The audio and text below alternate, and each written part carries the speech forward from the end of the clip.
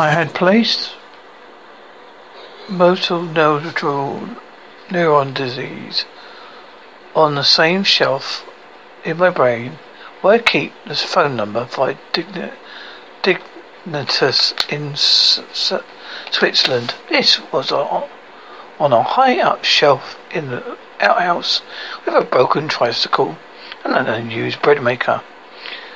Immediately prior to receiving my diagnosis, I had, had been slouching in the corridor. I was holding my phone and barreling insanely through online drivel with my phone thumb.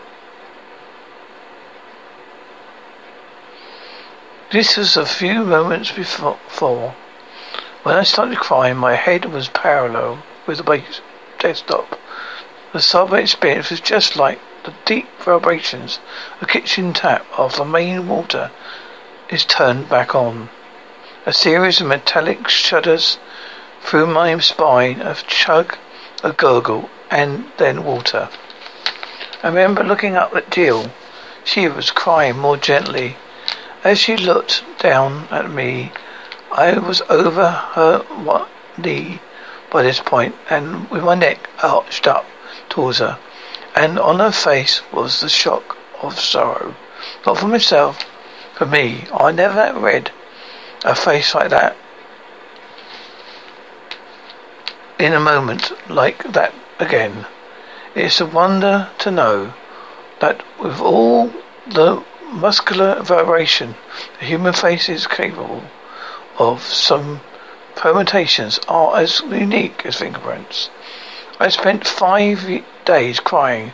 There were intermission when I would intermissions when I would build fantastical ornate wooden tower blocks with Tom. These periods enabled fresh fluids be taken in so I could begin again at night time or during the school days.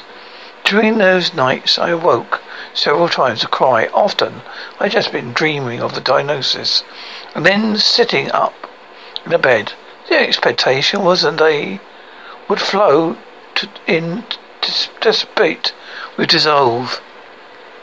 When it didn't, it was as if dreams had lost their function. It was an unschooling of the ways in which bad dreams are meant to be disposed, dispersed. Sleep was not diminished, and waking was never quite achieved. When crying came at night, I was squeezing the duvet in my fists and thinking very acutely of the physicality of Tom and Jimmy. It must have been something close to focus meditation, because I could imagine their current form, then focus on the changes that I imagined they would take place in their bodies in the years to come. I imagined the lengthening of Tom's lean legs and the broadening of the V-neck V-shaped jawline. I imagined the fine face hair that would appear on his face. I imagined his length and strength and of cheekbones that would one day underlie his gaze. With Jimmy, I love and marvel at the width of his face and his hands. I imagine him continue to be broad and solid. His shoulders would be thickened, his jawline would be rounder than Tom's. I imagine him shorter than Tom, but more burly. It's in Jimmy's case, I always felt guilt. I knew his physical frame and form, but he would never remember mine. He would often nap on the hand bed with his chin cupped into his, in his hands, and I would talk to his sleeping body and tell him not how sorry I was. During these days, as I felt like some figure was cutting around me with a pair of scissors, moving me with the blades to cut close and accurately, and so the paper turned more of me around would drop down.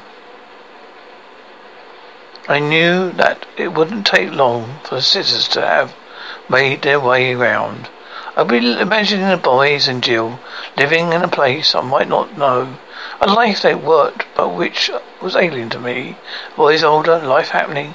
I'd be looking all at all this from the outside. I clung, cling to Jill, but I saw her and Tom and Jimmy connected by something I was I wasn't. Until this time, I've just assumed that they were formed from a single face, that something like this could never happen. At the end of these, those five days of crying, I walked the water seeped back into the ground.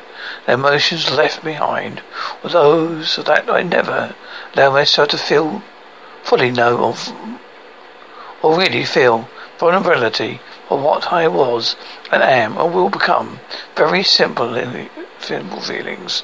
I had conversations about the value of laughter, but I have no longer believe it is the best medication. The end of my five days of crying, I felt calmer, more at ease than at any time in my life. I would have held out my hand and weighed myself in my palm and guessed exactly to a gram the scale of this little bit of mine. I knew myself in these dark days. I felt quieter, listened to the loss, and knew exactly where and who it was. It felt like a gift. Yeah, I'll be there in a minute. Extremely small, yet capricious, against a dark background, like something reclaimed. The months go by, some of the serious, the serious decline happens, almost suspectly, as I'd fallen asleep and been awoken by the familiar platform announcement. The medical professionals start initiating a conversation about value and dignity in dying. It feels as if I am in the midst of preparation for something. Various documents have been handed to me in various choices presented, a bit like the baggage of a car I aim as a seed the days before flying. I find death an interesting, too interesting that I wish I could have known about it earlier. I've been to funerals before, but I didn't think I'd ever pick that up that this would also happen to me one day. But now I realize how essential this information is, and it is our journey, so no matter how enjoyable, lost its value without a clear sense that it will at some point come to an end. When Jill and I first wrote our wills, we requested our ashes be scattered in the Indian Himalayas, which is not a decision that anyone with a balanced idea their own morality would make. If it sounds like an option you might select for a wager, or something that was an outside chance of occurring. Clean clear that really was something that was happening. It was Jill who initially likely the idea of a woodland grave close to where we lived in Hampshire. Bluebells grew on the site. I'm planning to have a bench above my grave. I might I might put a ramp at the end of the bench from which toy cars can launch into the undergrowth. Jill likes the idea of coming here with the boys and there are paths leading everywhere. I'm disappearing now, and this above ground work feels like part of the preparation for the gradual changes that have come. The slowing is probably common to anyone who has the time to really experience dying. It feels like a slight drop in the temperature. In the noise too. It's slowing down which is then which is when then gives the appearance that others you are moving around much more quickly. Jill, my children and post the, the postman. Frida. My friend's dog. I know I have no connection to their speed. It's a gradual incline.